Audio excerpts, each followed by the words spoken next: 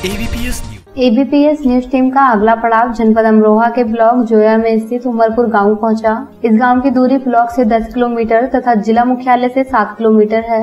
लगभग 2700 की आबादी व 1360 वोटरों द्वारा करमवीर सिंह को अपना ग्राम प्रधान चुनकर गाँव के विकास की ज़िम्मेदारी उन्हें सौंपी है। वर्तमान समय में गाँव में चार सौ अड़तालीस राशन कार्ड धारक है।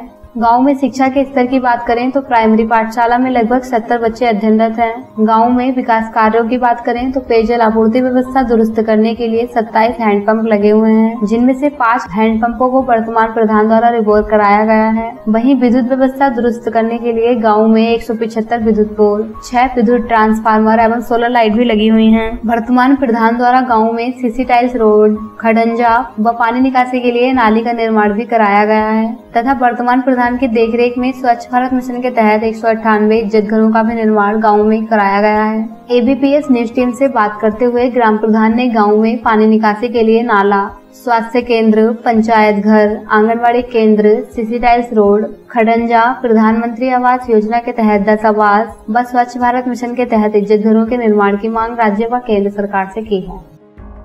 मैं ग्राम प्रधान उमरपुर, विकास खंड जोया। जिला अमरोहा से बोल रहा हूँ।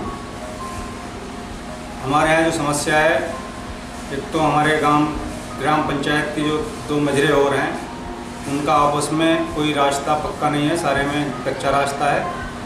वो सही होना चाहिए, वो प्रधान निधि से नहीं हो सकता, उसके लिए विधायक या एमपी निधि से वो हो सकता है, क्योंकि प्रधान के पास इतना पेमेंट नहीं आता है। और जो समस्या है, जितना पेमेंट आता है, शिकायत लोग करते हैं कि काम नहीं हो रहा, काम नहीं हो रहा। लेकिन जो पेमेंट आता है, उतना ही तो काम हम कर सकते हैं। दस बारह लाख रुपए एक साल में हमारे खाते में आते हैं। दस बारह लाख रुपए में हम कितना सारी जगह काम कैसे करेंगे? तो शिकायतें करते हैं, जाते हैं, मंगल दिवस में पहुँचते हैं, फिर हमें परेशान करते हैं। तो ये समस्या का समाधान होना चाहिए और जो जाँच वगैरह की बात होती है कि हम अगर कोई गलत काम कर रहे हैं तो उसको उसी हिसाब से डील करना चाहिए सरकार को। और जो भी वहाँ शिकायत करने जाता है, मंगल दिवस हो या किसी चीज़ में भी तो उससे स्टाम्प पेपर शपथ पत्र लिया जाना चाहिए, ताकि जो है, अगर वो झूठा पाया जाता है तो वो उस पर भी केस होना चाहिए।